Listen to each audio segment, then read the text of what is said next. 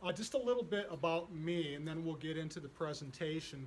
Uh, I'm a licensed psychologist, and I have been for about 25 years now. Um, I started off working in a community mental health center way back in the early 1980s, where basically I was the jack of all trades. I anybody who came through the door, I saw. It didn't matter if they were kids, adolescents, adults. I saw them. And so I got a lot of good practical experience working in that, um, in that environment. I've also had the opportunity to work in psychiatric hospitals with very challenging patients, as well as private practice. I was in full-time private practice in Green Bay, Wisconsin for six years uh, before we moved down here where I took on a job at MTSU where I currently teach and have been for, this is my 21st year, uh, in the professional counseling program throughout this whole time period, I've maintained an active uh, private, part-time private practice. And most of what I do are psychological evaluations for people who are suspected of having attention deficit disorder. Uh, whether that's kids who are at least eight years old, adolescents, or it's really interesting, over the past five or six years, I've actually had more adults coming in for these evaluations than I have kids, which is really interesting because um, nowadays we know that that ADHD just doesn't stop. You just don't outgrow this. In 50% of the cases, people continue with this into adulthood, although it changes. It looks different. But um, so that's my background. That's what I do. And uh, what I thought I'd do tonight is talk a little bit about um, attention deficit disorder. These are the things that I want to talk about up here, but uh, more specifically, what I'd like uh, for you folks to take out of this uh, presentation tonight uh, is first of all, just to kind of understand what is attention deficit hyperactivity disorder. We'll talk about how psychologists go about diagnosing uh, this condition. And finally, we'll talk about, well, how is this treated? How is it managed? And hopefully we'll have a little bit of time for uh, questions and answers at the end. And while I'm going through my presentation, I, I, have a lot to present, but please feel free to ask questions as I go along. I just don't want to stand up here and, and do my spiel. I do have a lot of information, but please feel free to stop, ask a question chances are if you have a question, somebody else out there probably has the same question, so don't hesitate to stop me as, as we go along uh, tonight, okay? So I think a good place to start is with this question right here, what is attention deficit hyperactivity disorder? And I think that if you just kind of look at that name, it sort of says in and of itself what it is, but I want to talk about kind of more of its history, how it came about. Many years ago, there was a guy in this field who's done tons of research by the name of Russell Barkley. He's, he's written a lot of textbooks or just books about this, books for uh, the general population as well as for practitioners like me.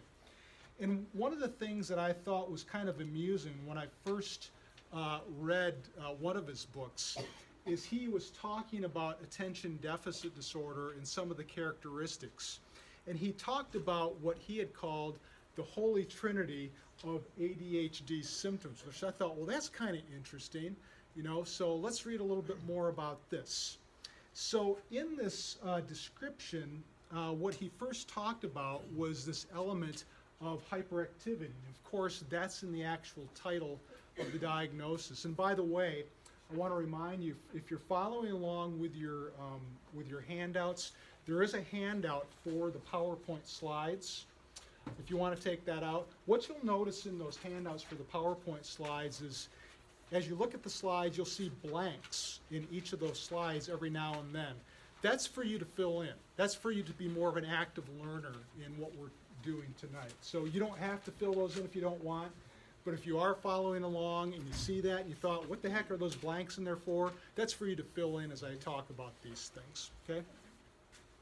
So if you think back to when you guys, many of you were in elementary school, and you can kind of think back to classmates who were in constant motion. They were always out of their seats, doing something, whether it was going to the pencil sharpener, uh, whether it was to throw something away, asking the teacher, can I go to the bathroom? I really need to go. And whatever the case was, they were just kind of in constant motion. They may have been talking a lot or, or whatnot.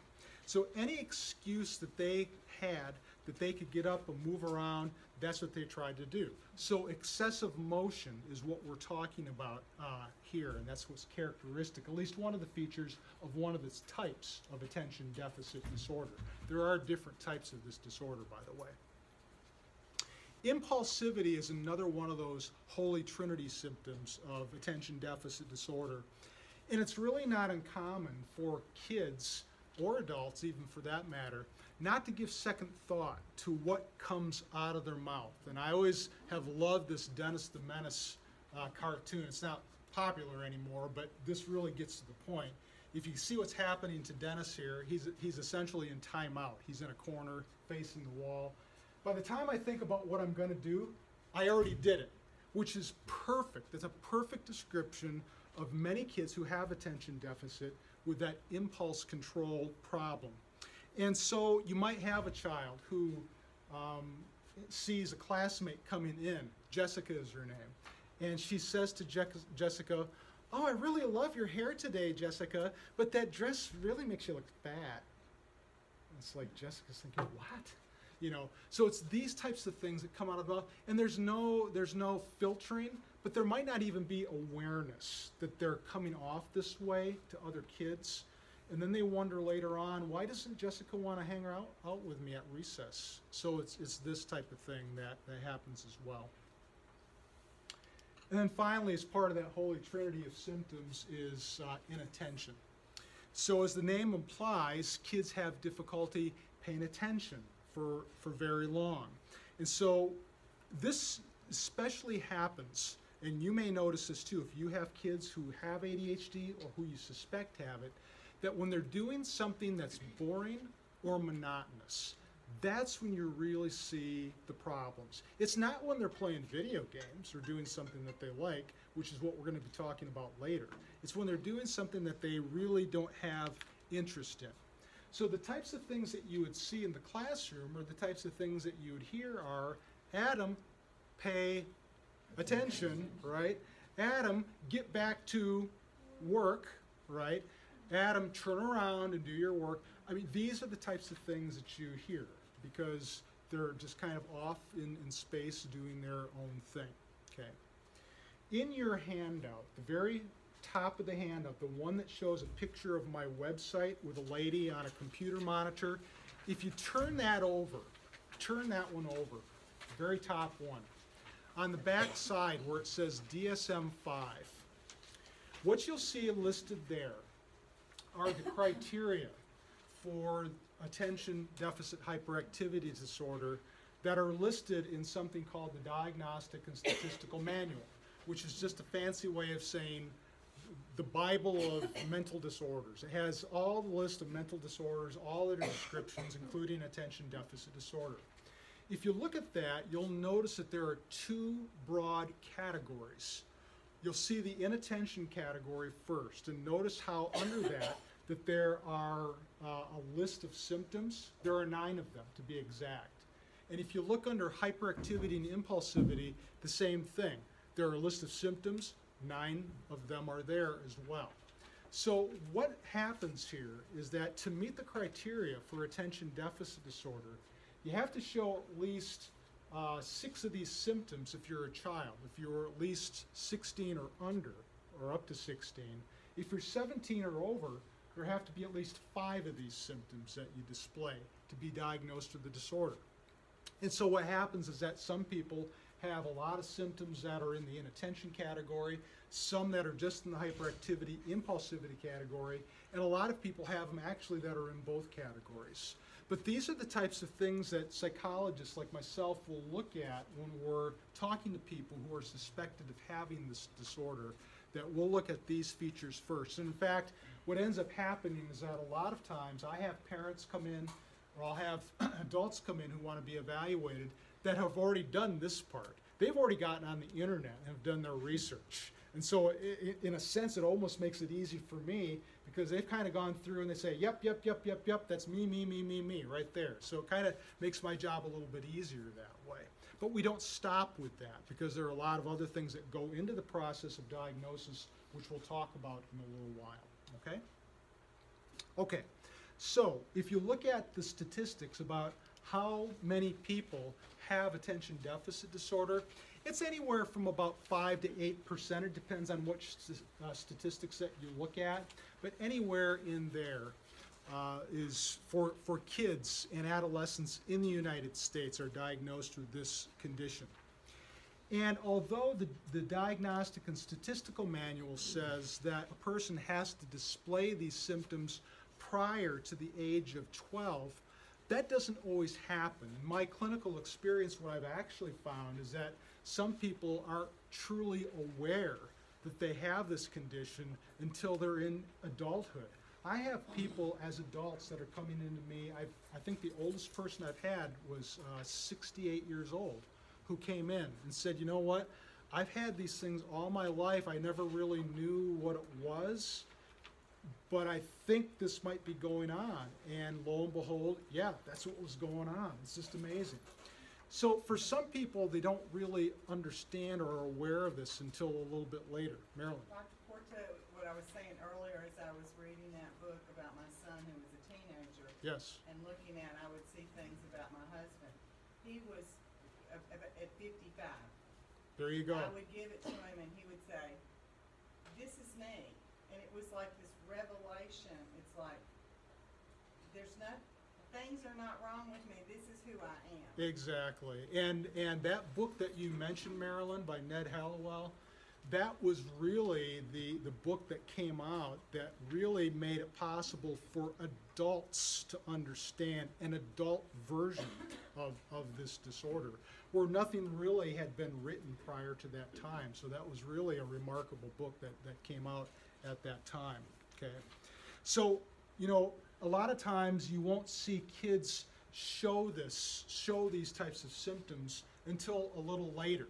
Some kids will fly under the radar, especially the kids who have just the inattentive type of this disorder, where they're just kind of spacey, they're just kind of keeping to themselves. They're not disruptive, they're not causing problems in the classroom, so they kind of fly under the radar and they're not noticed until later on when things become more complex, especially starting in about middle school, in high school, when they are expected to do things much more independently. I mean, the independent stuff comes in third and fourth grade, but at that point in middle school, they're having a lot of teachers, they're expected to be independent, organized, self sufficient, all these things where those are difficult for them, as we'll see a little later when we talk about something that are called executive functions. So I think that the, the issue for the middle schoolers and, and above are the whole issue of how do I how do I manage all the things that I'm expected to do, homework, chores, managing my social relationships, all this stuff that I have to do, and and these are the things that you see them struggling with as they uh, get a little bit older. Now here's the interesting thing. In this is a this is an interesting question right here. Is that doesn't everybody have a little bit of attention deficit disorder? Did you ever think about that?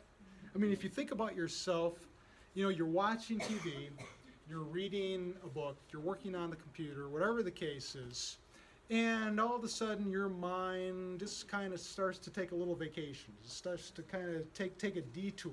Driving the car. Yeah, and and it happens, and this happens, and then you catch yourself, and you think to yourself, oh, what am I doing here?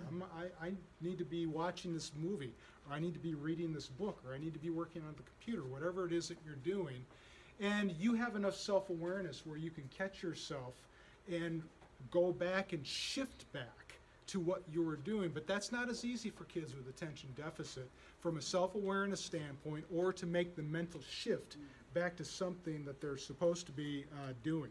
So, But I think that it does happen to all of us from time to time.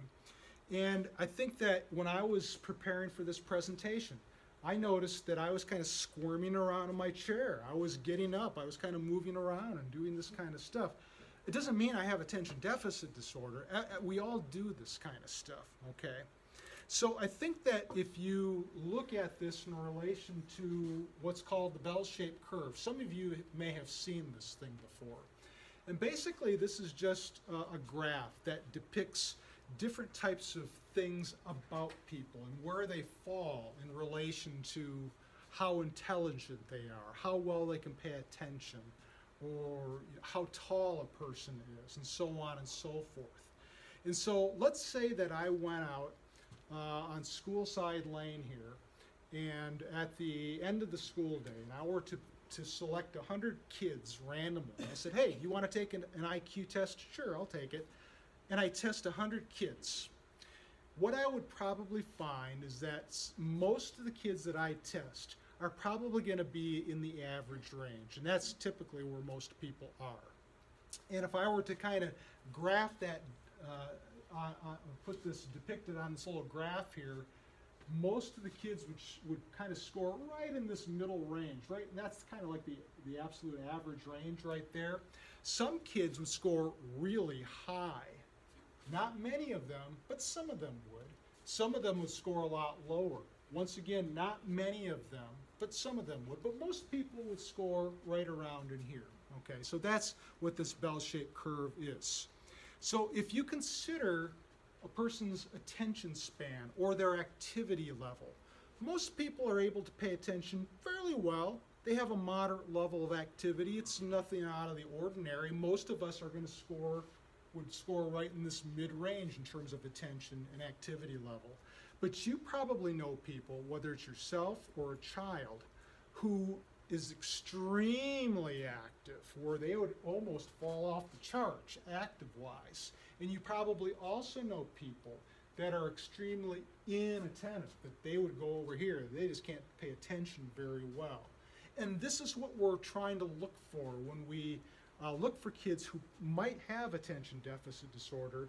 Do they kind of fall to the extremes? Do they kind of go beyond the norm to an extent where it's causing them problems, either in school, which is the main thing for you guys who have kids in school?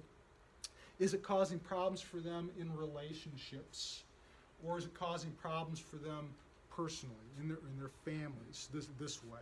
Okay, so those are all the things that we take into consideration that's related to this. Okay, so we don't pay attention 100% of the time, but nobody does. But we're looking for those people who kind of fall out into those extreme ranges there. So here's the thing about this. When we look for the possibility of attention deficit disorder, we're looking for people, we're, we're looking for, we're looking at the nature of the problem. We're looking at the frequency, how often it happens, how severe is it, which is kind of getting back to what I was just talking about with that bell-shaped curve, and how long have these symptoms been going on, okay? So if the symptoms are very characteristic of attention deficit, like we were talking about before when I had you look at that list of symptoms, if they're happening fairly frequently, if they're severe enough to be causing problems for the child in school, they're not achieving as well as we would expect them to, if it's causing problems in the relationship or in their job performance, if it's, if it's the case of an adult. If we're looking at all these areas, that's a cause for concern. And how long have these been, been going on? Remember, for the DSM criteria, a person has to have had these prior to the age of 12 is when these symptoms are supposed to have started. So if I were to talk to an adolescent or a young adult, normally what I would find is that when they were smaller in school, they were having some problems in school, learning wise, attention wise, and perhaps getting along with kids, maybe getting in trouble, not all the time, but for some kids that's the case. So those are all the things that I'm going to be looking for and that you should be considering if you think that you or a child might have attention deficit disorder. And of course, that's what psychologists uh, help out with, is to kind of help tease that out and figure that out for you, okay? Now, there's been a lot of research that has been done over the years that shows that this is a, is a true condition, attention deficit disorder. And I'm by no means a, a neuroscientist, don't claim to be one, don't play one on TV. But let me point out a couple of things about the biological bases of, um, of attention deficit disorder. A few years ago, there were a couple of scientists in England who were doing some really interesting research on DNA. And they found that kids, children with ADHD, um, were more likely to have specific segments of their DNA missing than other kids, which causes their brains to develop differently and to develop more slowly, which is obviously going to create problems for them if you think about that. If their brains are, are maturing slower than other kids, then how could they expect to be doing the same types of things in math, in social studies, in reading, compared to their peers if they're not maturing as, as, as quickly? You see what I'm saying there? So this kind of places them uh, at a disadvantage in, in that way. Heritability is also an issue here. With kids, um, kids with ADHD are much more likely to have one parent who had attention deficit disorder themselves when they were younger. In about 25 to 30 percent of the cases, one of the parents will have had this when they were younger, whether they're aware of it or not. Like I said before, we have a lot of people that are coming in to be diagnosed for this. They had no clue until they were in their 40s, 50s, even 60s. Okay, so sometimes they don't know that. Uh, if you look at twin studies, the same sort of thing, where a child who has, uh, with an identical twin who has attention deficit disorder, there's three out of four chance that they will develop attention deficit disorder as well. So there's a close genetic correspondence there. If you look at MRI scans, they've consistently associated attention deficit disorder with, uh, with less thickness of gray matter in the brain. If you look at the brain, I'm not sure if you've ever looked at a brain before. The brain uh, is, is uh, inside the, the skull. On the outside of the brain is this, this matter. It's called the cerebral cortex. And if you ever looked at it, it kind of looks like a cauliflower. If you ever sliced a cauliflower in half, it actually looks like a brain. Okay, so this is what I'm talking about with the cerebral cortex, especially in the front area of the brain. That's the part of the brain that's responsible for the most complex things we do. Things like problem solving, things like decision making, attention, control of behavior, all these things are developed uh, it, or are, are controlled by the front part of the brain. And it's really interesting. If you look at brain development, the frontal cortex is actually the last part of the brain to be developed. We start developing our brains uh, pre-birth uh, in the back, in the back, and then slowly, by the time we get to about, oh, 25 years old, everything is fully developed. It takes 25 years for this to happen. And the frontal cortex is the last part to be developed. So if you think about this, if you think about high school kids who sometimes will do things that you kind of consider as a parent that aren't the smartest things, they might do things without thinking about it or think that they're invincible or things of this nature. Oftentimes it's not because it's because that they don't have the ability to think things through like they should, but that part of the brain hasn't been fully developed. Okay? And then PET scans is what you see here on the right in this figure up here on the, on the slide, where when you have people with ADHD perform a task, certain areas of the brain are less active for them than for people, and you can see how active the brain is for a non-ADHD person. It's less active for a person with ADHD. So PET scans basically show us how the brain is working, okay? But here's the other thing I think is important too, and you, you've probably heard of this before. having to do with something called neurotransmitters. Has anybody ever heard of that word before or know what it is? What what is that? You know what it is? It's just basically how chemicals get around in your brain. Yeah, it's basically chemicals. There's How they special cross- chemicals. How they cross the synapses. how they cross the synapse, and and basically that allows for communication to take place in our brain. Communication has to take place between these neurons, between these special cells, and neurotransmitters play a very special role in this. And the type of neurotransmitter will dictate the type of activity that we do, or the type of brain function that takes place, whether it's paying attention, whether it's telling us that I need to move from this place over here to this place, whatever the case is, these special chemicals do this. Now, there are two special chemicals in relation to ADHD that are called dopamine and norepinephrine that kids and adults with attention deficit disorder, they don't have enough of this. So this is what causes some of the problems that we see in this population. So when you look at things like um, like medication like Ritalin or Adderall or or there are other ones too. The list goes on. But if you look at those medications, they will have an impact on these neurotransmitters, and we'll talk about that in a little while as well. Okay. So this is the evidence, primarily biological evidence for attention deficit. This is, has nothing to do with bad parenting. That's that's a wives' tale. It's a myth that's been around for a long time. It has nothing to do with that. This is a biological disorder. Okay. Okay. Are there any questions so far before I move on? Any, anything you're wondering about at this point, or any questions about anything that I've presented? Okay. Well, let's go on.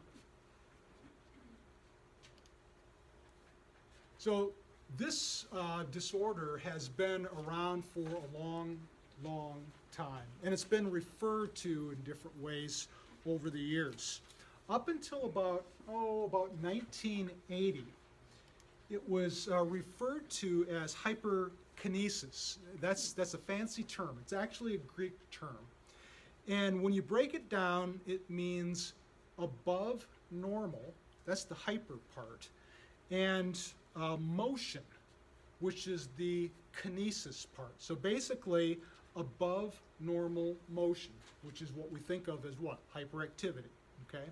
So in the 1980s, researchers were really starting to look at this disorder. They, they really didn't take a lot of interest in, in it until about that time. And what they found is that it wasn't just an issue with excessive motor movement. That they found that many of these kids who that they were they were researching were having problems with attention and concentration and organization and some of these executive function skills, which we'll talk about in a second. So they looked at this and said, you know what? We need to re examine this and perhaps uh, relabel this. Okay? So, what used to be called hyperkinetic reaction of childhood was renamed. In the 1980s, they started to call it attention deficit slash hyperactivity disorder. And the reason that they have the slash in there is because some of the kids that they researched had no problems with motor control at all. They weren't hyperactive. They just had a lot of problems paying attention and concentrating and organizing and all that kind of stuff. So they found that there were actually two types of attention deficit disorder. So that's why you see that slash. And that's also why you will sometimes hear this referred to as attention deficit disorder. You've probably heard that term. And other people will say attention deficit hyperactivity disorder. One has the hyperactivity component, the other does not. Okay, so that's the, the essential difference there. Okay. So we have these scientists doing all this research. They're finding that it's just not an issue with uh, motor control, that attention also plays an issue. And so what ended up happening is that as the researchers went on, they found that there were specific problems. Once again, what I was telling you about before in the front area of the brain that controls many of these things that we all do day in and day out. And these things, these things are what they called the um, executive functions. And so what I did up here is I put this little metaphor of how, how you can kind of think about this, about what executive functions are. If you think about the conductor of, a, of an orchestra, you think about what he or she does. They're up there, they're waving their baton, but they're doing more than that. They're basically pointing to different members of the orchestra, pointing them out. Now it's your turn to play. It's your turn to play. Tone it down. Get louder at this point. Okay, guys, this is really where we need to kind of speed it up. They're controlling all this type of stuff. And this is essentially what executive functions do. They control different aspects of our behavior. You can also kind of think about it as the manager at a store. What does the manager at a store do? They basically make sure that everything runs efficiently, everything gets done the way it's supposed to be done. We have all of our supplies for the store, the workers are doing their work, making sure once again that everything's done the way that it's supposed to be done. So what I want to do is I want to talk a little bit about these executive functions. Uh, and, and I guess when you look at these, I think one of the, one of the primary things, and this doesn't really uh, come as any surprise, is that kids who have attention deficit have trouble staying tuned in to something. Have you ever traveled somewhere? like I went to Michigan to my father-in-law's um, cabin last summer, way out in the middle of nowhere. And of course, I have my cell phone, and I'm trying to make a call, and I can't make a call. And I look up, you know, the little bars that show you how strong the signal is on your phone. I didn't have any bars on that. So I move, I, I go outside, I, I go about 50 yards away from the cabin. Now I see a bar on there. And then I kind of move to a different part of the property. I get three bars. I go back to the cabin, I don't have any bars. This is kind of what it's like for kids with attention deficit disorder, is that they have problems receiving signals because the, the signal strength, it kind of fades in and out. And so they can't really tune in well enough to receive those signals to get the information that they, that they need capturing those signals is very difficult and it's extremely frustrating for them. And it is for parents and teachers too. Why is it that you can pay attention sometimes, but other times you can't? It's very frustrating that there's that lack of consistency and people don't seem to understand this, this aspect of kids. With also with ADHD kids, they're distracted. And most of us, I think, you know, in this room, we could probably say we're able to kind of more or less stay zeroed in on things. If we had something, some task, some activity that we had to do, for the most part, we could kind of stay on that and get it done through to completion. But that's not necessarily the case for kids with ADHD. The issue with them is that there are too many things that are distracting. So think of this little metaphor kind of think about how in your house you have screens on your windows or on your door. What are the screens for? Why, do we have screens on windows or doors? Keep bugs out. Yeah, that's typically. And there's some other reasons, but that's the main reason. Okay. So if you kind of think about this for the ADHD child, the problem for them is that they have too many holes in their mental screen. They can't filter out the bugs. For them, what the bugs are, are if they're sitting in the classroom, somebody's walking down the hallway. And what is the kid doing? They're not doing their work like they're supposed to be doing. They're kind of looking out to see who's walking down the hallway, right? They hear people behind them talking. They can't do their work, so what do they do? They turn around to see what they're saying, maybe even joining in on the conversation because they can't filter out those types of things. So this is very typical of what we see. Now here's here's the thing, and I was just referring to this a second ago. Kids with ADHD don't have problems paying attention in all situations.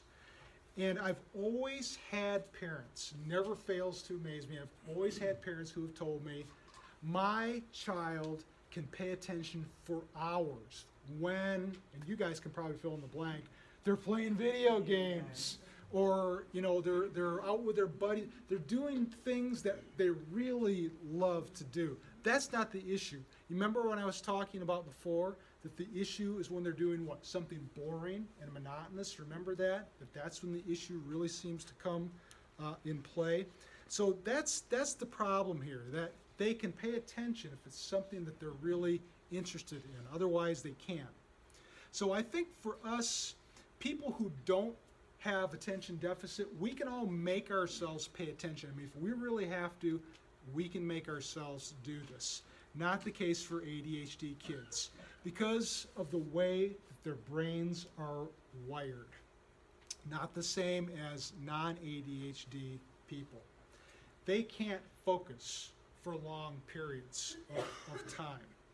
It's not a question of willpower.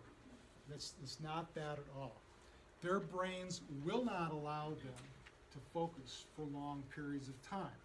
So this is what they're contending with. So it's it's really um, this issue of what we were talking about before. When I was talking about the evidence, the biological evidence, you remember when I was talking about um, the, the dopamine and the norepinephrine, those special chemicals, they don't have enough of this, so it doesn't allow for enough communication to take place. And when communication doesn't take place, you can't do the things that your brain is really designed to do. The things that you and I probably take for granted day in and day out. Okay? So, two situations, and these are two exceptions to the rule. The two situations in which kids can focus better are if the activity is really interesting to them, which is what we talked about already, and the second one, which we haven't talked about, which is if the situation is an urgent one. So if they have to respond right here, right now, almost as if a person is holding a gun to their head, that they have to do this. The pressure is on. Then they can perform. The last minute sort of thing.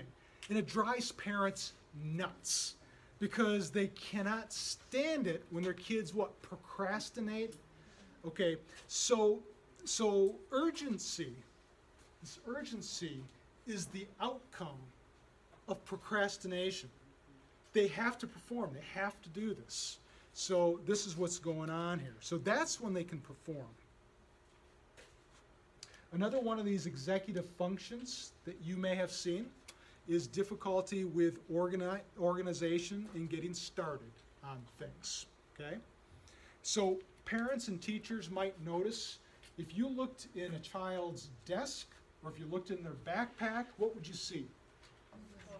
Probably a disaster zone. That's probably what you would see. With some kids, you would see that. Not all kids with ADHD, though. Actually, there are some kids with ADHD that are meticulous that are really well organized, and that's not really the problem for them. It's that they have so, a problem with something else, and that problem is organizing time and work. That's where they show the problem. Okay, so so like they might have trouble fi- figuring out how much time it's going to take to complete a class project. Think about that there's a lot of planning that goes into that. If it's a big class project, like over the course of a nine week mark, marking period, that they have to do this project for this unit, whatever it is, they have all this time. And for, for kids, they have to learn how to plan out their time. And as they get older, they get better at this. But you remember how we said with kids with ADHD, their brains mature slower? And so that's a really difficult thing for them to do. So that's where parents come into play and teachers come into play by helping them kind of plan out these things. Hey, Jason, have you started on that project, that science project that you were supposed to be doing? What do you think that you should be doing first? Let, let's let's kind of come up with a game plan here and figure out what you need to do, how long this is going to take you, and kind of plan it out that way. So kids will need that kind of help from their parents to figure out those, those types of things. But even getting started on tasks can be a problem too, the procrastination issue that I was talking about earlier. Also, kids may have difficulty uh, just showing effort in finishing tasks. So it's interesting because we were just talking about getting started on tasks, organizing, that kind of stuff. For some kids, no problem at all. But when it comes time to actually finish the task, to show, the, to demonstrate the mental effort that's involved to actually follow through and, and complete that task, that's an issue. And for some kids, it's almost as if they run out of um, attention, attentional gas. You know, they just kind of run, they're pooped. They don't have anything more to give. Marilyn? These children frequently, uh, experience mental fatigue. Yes. It, it takes their brains twice as much energy to, to accomplish the things for those of us that do not have an attention disorder. And just to kind of, if you don't mind me Yeah. stepping in, um, another thing that, like, let's just say that you give a, a kid that's got an attention disorder a sheet like this, and it's, it's homework, and it's problems.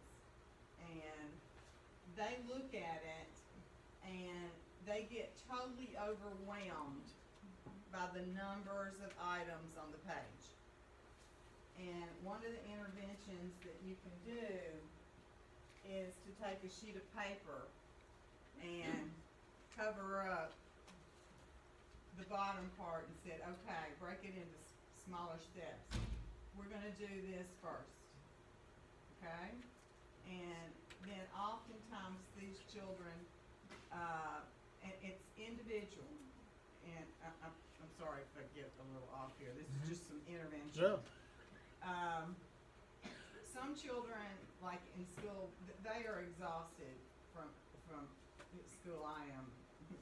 But some children need to come home, and you have to figure this out, and they need to start right away on their homework.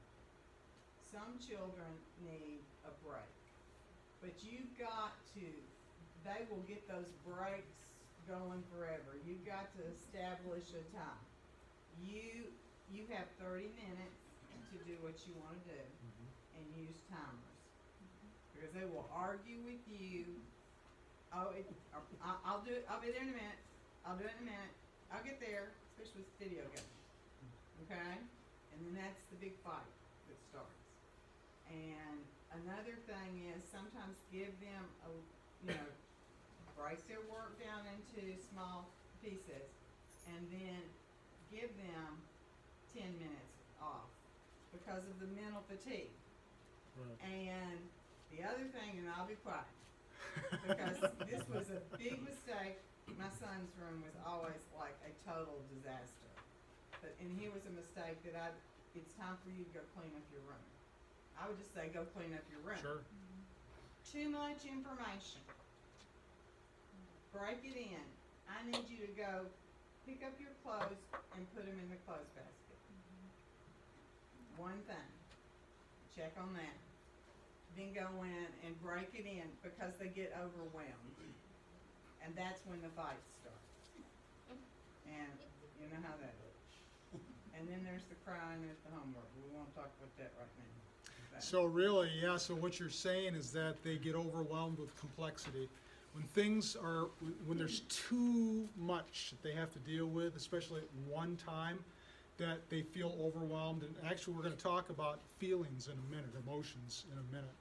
One thing I wanted to add to what Marilyn said, that one thing I used to have parents do, uh, when the kid said, I'll be there in a minute, I'll be there in a minute when they're playing a video game or whatever, I would tell the parents, well, I'll tell you what, for each minute they take late getting back to you, you subtract that from the time that they're allowed to play the video game the next day. So that's, that's a good way of dealing with that, so. Which doesn't go over too well with the kids, you can imagine, okay? Okay, so let's talk about this, since we're kind of on this topic, this is, this is a good way to, good time to talk about feelings. Because I think when you talk about a lot of these executive functions, planning, attention, all this kind of stuff, well, where's the emotional component in all of this? Because there certainly is one. And it's interesting that this has become a bigger topic in this area of ADHD research over the past five years, where they started to look much closer at the emotional aspect of, of these kids. So let's say that, that kids in a classroom, they've been given 10 minutes to complete um, uh, 10, 10 math problems. Uh, and then they, you know, that, that class is done. And so the kid starts, everybody starts. And the kid with ADHD, you remember that mental screen the bugs go through? They hear some kids whispering behind them. And then they hear somebody crumpling paper. And then they see somebody walking up to the front of the classroom and coming back, and all this stuff is going on. And then they hear somebody behind them talk again. And so they turn around and say, Stop being so noisy. I can't get this done. Because they're feeling stressed out. Because eight minutes have passed and they're still on the first problem. Okay?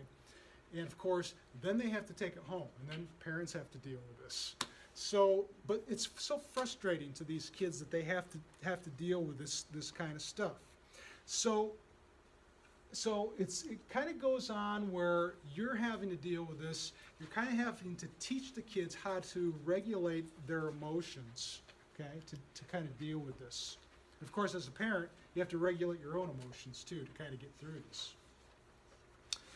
Okay another problem is something called working memory.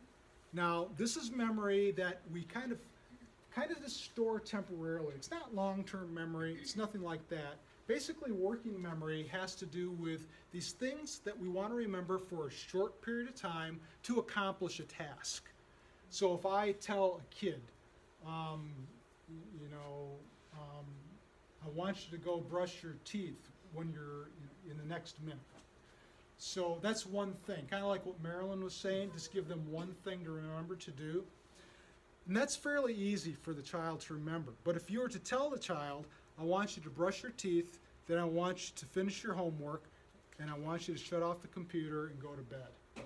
Okay, so chances are they're going to remember two, maybe only one of those things because they don't have good working memories. Now, if I were to ask the child, tell me what you did on your vacation last summer, they could probably go into elaborate detail of everything that they did. Why?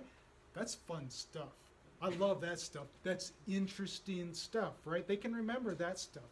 It's the short term working memory that tends to be the issue for them, okay? So in the classroom, if they have something that they really want to share, it's, it's right up here, and they really want to talk about this, and the teacher says, now, just wait a minute, we have to wait for these other kids to share their stuff first. And so they kind of go around the room, and then finally gets down to, to this kid, and the teacher says, well, what did you want to say, Johnny? Uh, I forgot. Okay, so that's the issue. So the difficulty of keeping this thing uh, in, in memory. Some other issues are slowing down or speeding up. Slowing down when they need to slow down, speeding up when they need to speed up. How many of you have kids that when they do their homework, they rush through it and just want to get it over with? Okay, that's just not characteristic of attention deficit disorder kids, by the way. Any any kid will will do that kind of stuff because they have better things to do with their time. But with these kids, that tends to be a problem on a more frequent basis, and they have trouble slowing themselves down. It's the same thing I was just talking about a minute ago, where you had the kid who's in the classroom, who walks around, who wants to sharpen his pencil, throw away something, just kind of work off that, that excess energy. And so that's the issue here. But that's not always the issue. Sometimes the, the problem is failing to speed up, to do things that they need to do to get something done. It's almost as if they take their foot off their mental accelerator. Or maybe they didn't even push it down to begin with. And so they're in slow motion. So in the classroom, what you might see is that the kid is taking a long time to get stuff done, maybe even the last one done, all the time when they're supposed to be doing tests or their or their school work. Okay, a couple more things, and then we'll talk about how is this actually diagnosed. Monitoring actions is the last thing I want to say about this. A child with attention deficit might have trouble waiting his turn. Blurt out the first thing that comes to mind, whether and, and get, and not even really be, be aware or be concerned about the, the consequences. Might get reprimanded by the teacher. None of the kids want to play with them on the playground that day because they said something that's upsetting or something that kind of makes them look weird or unusual, which is something that the social aspect of this is what some of these kids are, are dealing with. Okay, so they may be totally clueless about how they're coming off. So, in terms of uh, how this is actually diagnosed, there's not one test that'll tell you yes, this person has it, no, they don't. Usually, psychologists will look at a whole bunch of different things. So, some of the things that they'll take into consideration are our history. So, if I had a parent and a child come in to see me for an ADHD evaluation, I'm going to talk to both of them, and basically, this is how it goes. What brought you in here today? How long has this been going on? How, how has this been affecting you?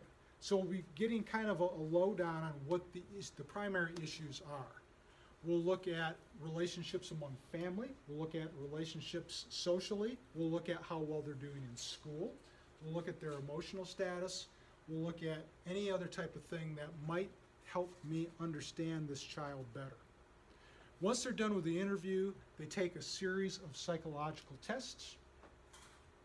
And, even, and as part of that testing process, I'm going to be able to observe them. So if I give them an intelligence test, which uh, we always start off with very easy questions and they always get really kind of difficult, I want to find out a couple of things about them. Are they going to stick with it when they have to do something challenging or something that takes a lot of mental effort? Will, this, will they stick with that task? Do they listen to directions? Does it seem as though they're moving around all the time? Like back in Green Bay, I had one child that I tested that had to move around so much they actually climbed on top of my file cabinet. And I tested them from there. I could ask them questions and they responded. They just had to move around, okay, which is fine. But I also rely on teachers. I used to go into classrooms and do classroom observations. Don't have time to do that now. So I rely on teachers. And I have them fill out a form that kind of looks like this. And one of the things I say is kind of just jot down three things that you've observed about this child recently that are of concern to you. So at least I get the teacher's perspective on what they're seeing in the classroom. Because for a diagnosis of ADHD, it has to occur in at least two different places, two different environments. Home and school is what that amounts to for a kid. A home and work is what that might amount to for an adult. So I want to get that input. Of course, there are a series of psychological tests that are given. Teachers fill out some rating forms, parents fill out rating forms. Some of the rating forms give me a whole host of information, not only about attention problems, but about depression, anxiety, conduct problems, aggression, and then some tests that are specific to attention deficit disorder. And then a little computer game they play to find out how well they can pay attention and concentrate. And this is really good at getting at those executive function issues that I was talking about a few minutes ago. Once that is done, I would score the test, I would interpret those findings, and then look at whether or not the child actually displays all of these characteristics that we're talking about that you looked at in that handout, the very first handout that you looked at, the DSM-5, those symptoms, do they have those? The bell-shaped curve, do they fall to one of the extremes based on the test results? Does it seem that this is the only problem that they have, or do they have some other problems too? It's very possible that a child could have attention deficit and some other problems like anxiety or depression. That's a possibility. So that's what a psychological evaluation is designed to do, is to help figure that out. And does the evidence, the history, the observations, the test results, do all those things point to attention deficit disorder? And that's what we're trying to do with making the diagnosis. Now, in terms of how you treat this, medication is usually the, the way that most people will go. It's not always necessary. In many cases, it is. And I'll talk about stimulant and non-stimulant medication in a second. But the other way that this is dealt with is through old standard behavior modification.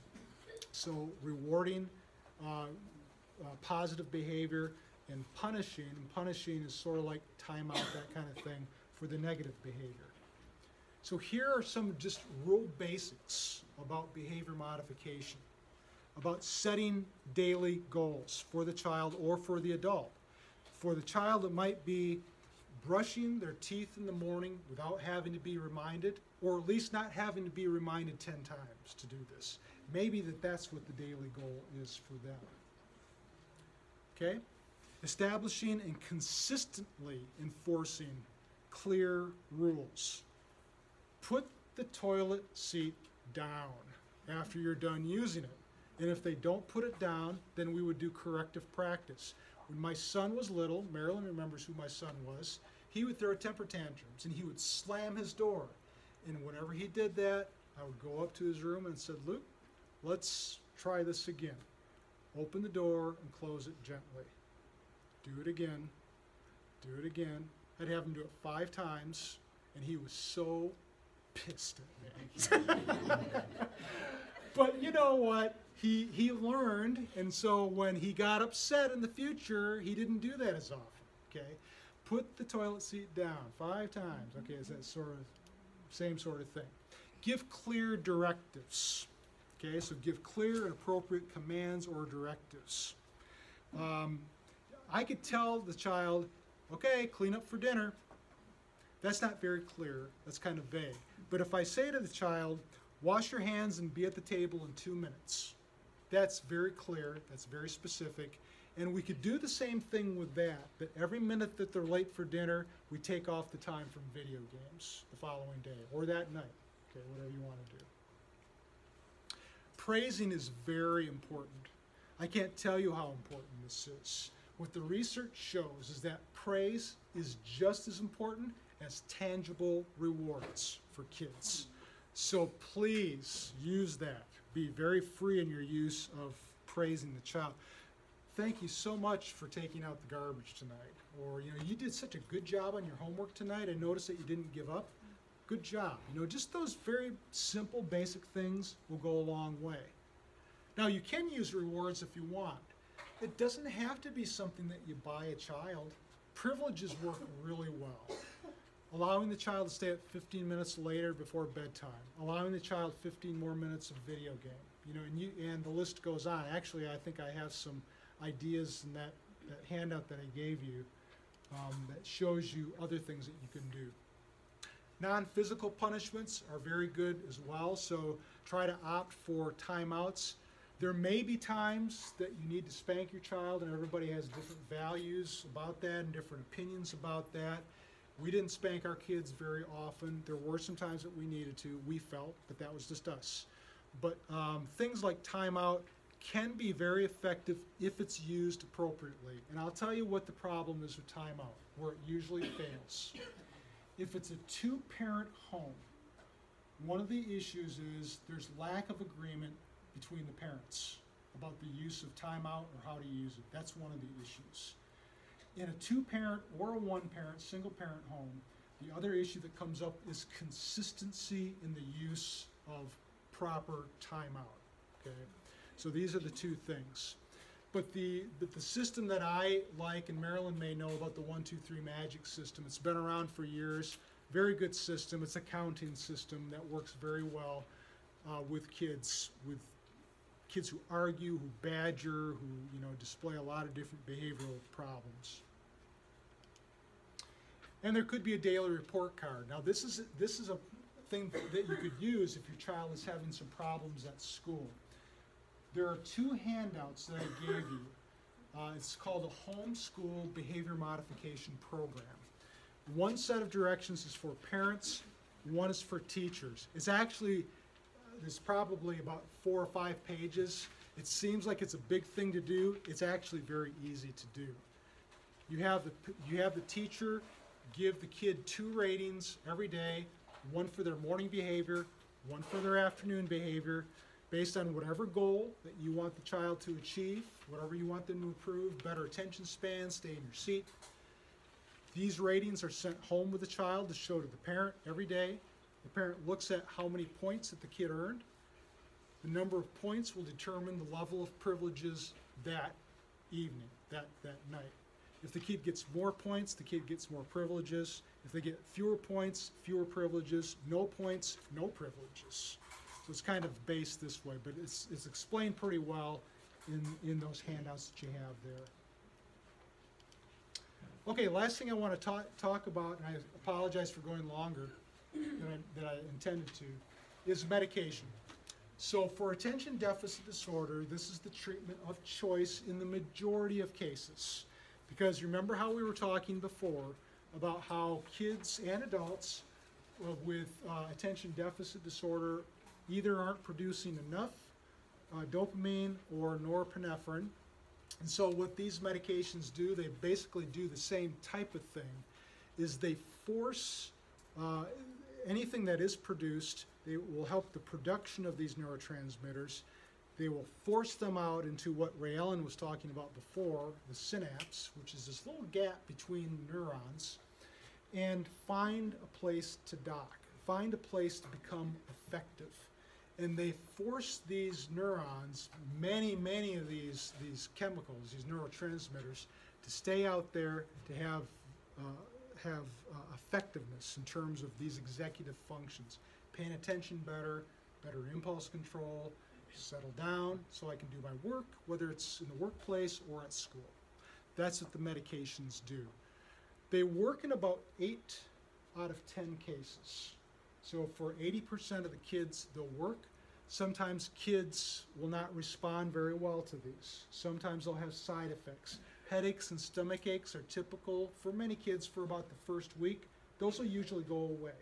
The side effects that usually persist for about 25 to 30 percent of the kids are decreased appetite. They don't want to eat as much when the medication is in their system.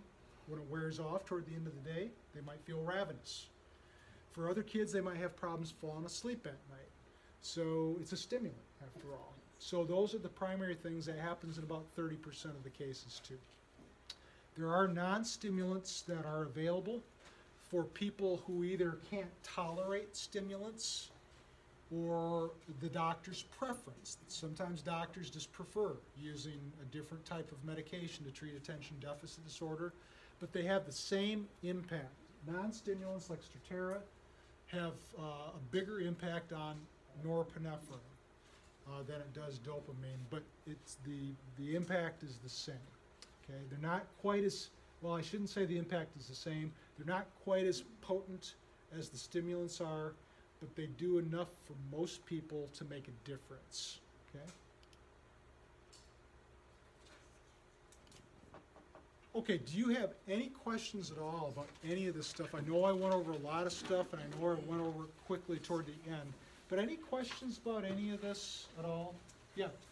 Do you notice if a child, uh, is diagnosed at a young age and they begin medicine, does that medicine build up to where they have to have a stronger, um, milligram of it? the They older kind of they develop a get? tolerance for it. Yeah, that happens in many kids. So what ends up happening is that they go to the doctor and the parent says, you know, this doesn't seem to be working as well as it did. The doctor will do two, one of two things. They'll either increase the dosage level, and if that doesn't work, then they'll usually switch to a different, a different stimulant or a non-stimulant, like we were talking about before. Yeah, but that, yeah, that happens in a lot of kids, as well as adults. Who else has a question? Marilyn? I would just like to make a comment because I think sometimes we get really frustrated with our children who have, I like to say they have unique brains, okay, instead of some of the negative, uh, labels to this sort of thing. And, um, there are many very famous people that, have attention disorder, and I was trying to pull it up, but we, the internet was down. But, uh, Whoopi uh, Goldberg, Dr., uh, President George Bush had it, a number of our presidents have had it. Um, uh, uh, Justin Timberlake, uh, Einstein was ADHD. Einstein did not read until he was twelve years old. Dr. Hallowell that we were talking about, uh, had, also had, uh, he was dyslexic. He could not read until he was about uh, 15 years old, and he was also ADD. He graduated from Harvard University, went to Tulane uh, College. Then, when it was he was in college, is when he discovered when he was doing his psychiatric rotation and studying, he diagnosed himself. And he is a world-renowned child psychiatrist. And I, I love one of the descriptions that he tells kids that particularly have the ADHD. He said, your brain is like a Ferrari, the motor of a Ferrari. Uh-huh. He said, your engine is big and it runs wild, but you have bicycle brakes. Yes. Now, that's my son. And, um, but there are many outstanding, productive people. These children are challenging, but we need to focus on their unique qualities that we see. And parenting them is very challenging, and it's not easy. Uh, and when you have those tough times, find that friend that you can talk to, that you feel safe and, you know, that when you've had that mama feeling or daddy feeling like I'm just the worst thing in the world, uh, call that person up and, you know, that, that understands their child. But you have very unique children and, uh, the gifts that you have given them are gifts to our world. And so, you know, it's not all bad. No, it's not all bad But at all. none of us have an easy road to growing up. You know, we've all had struggles, struggles. But thank you so much for what you, um, um, you know, presented to us. Is there anyone else that has a question or, um, I- I- And I know we've gone overtime. If anybody, I'm willing to stay after, if anybody wants to leave, but I'm willing to stay here to answer some questions. I just want to make uh, you aware of, there is a Facebook group, the Murfreesboro ADD and ADHD Facebook community where we discuss issues like this, so I encourage you to join that if you have not yet. Um, also, if you have any questions about perhaps having your child evaluator for attention deficit, I can talk to you about that as well. So I really appreciate you coming here tonight, and um, thanks. We are so excited about this. I mean, can I help up if you wanted to pull it up?